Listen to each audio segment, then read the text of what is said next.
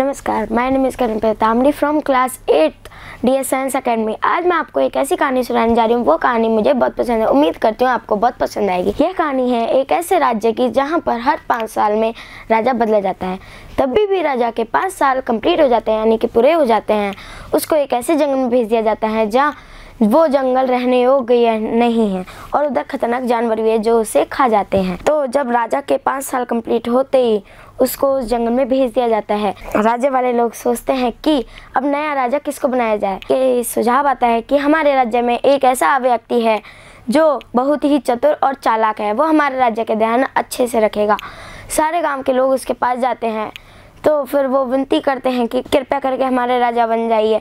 वो मान जाता है। राज्य के मंत्री लोग से पूछता है कि, मुझे उस जंगल में ले चलो जहाँ पर मैं पाँच साल बाद जाने वाला हूँ।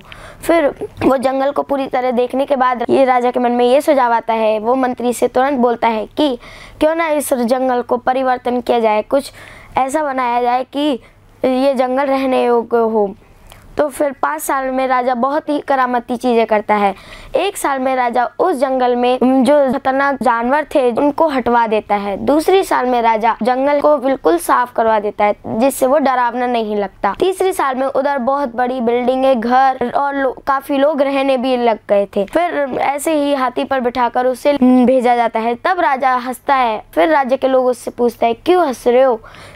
तो राजा बोलता है कि जो पहले के राजा आए थे उन्होंने तो ऐसे ही टाइम व्यर्थ किया था नए नए कपड़े पहनने में और मज़े करने में। और मैंने बहुत परिवर्तन किया, उस जंगल को रहने योग बनाया था। मैंने, मेरे टेंशन थी, परेशानी थी उस जंगल में जहाँ पाँच साल बाद मुझे भेज दिया जाएगा, जहाँ पर कोई जीवन नहीं है, उधर मेरे को भेज दिया जाएगा। ये इससे सीख मिलती है। इस कहानी का ये शीर्षक है कि टाइम का सदुपयोग करना चाहिए, ना कि दुरुपयोग। धन्यवाद।